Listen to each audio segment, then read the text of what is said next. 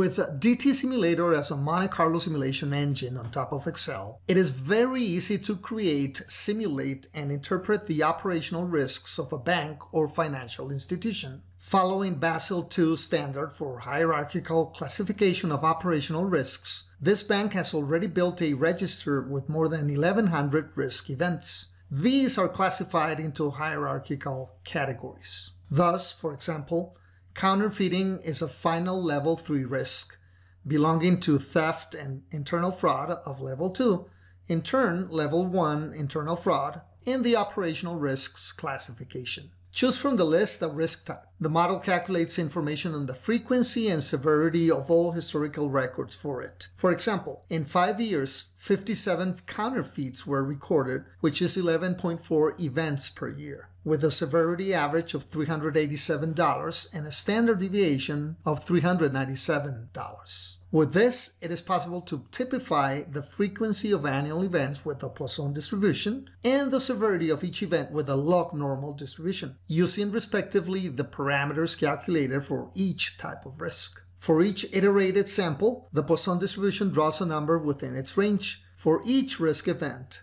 there will be a log normal distribution that generates its corresponding severity. Simulating with DT Simulator, each iteration consists of generating random numbers both for the frequency of events and for their individual severities. By adding all simulated events and repeating the process thousands of times, you will obtain a simulated total loss curve for this risk. DT Simulator Student version allows up to 1000 iterations. For a more robust and convergent simulation, DT Simulator Professional version allows up to 50,000 iterations. When the simulation is over, DT Simulator generates a histogram with its corresponding statistics. We get to see the shape of a curve, its range and mean, asymmetry, extreme values, and other statistics. Different levels of confidence, 90, 95%, 99%, can be calculated immediately. You can compare the expected or mean loss and the unexpected losses at different levels, respectively. By choosing any other risk or all risk categories, the process can be repeated to simulate and analyze summary information graphically and statistically.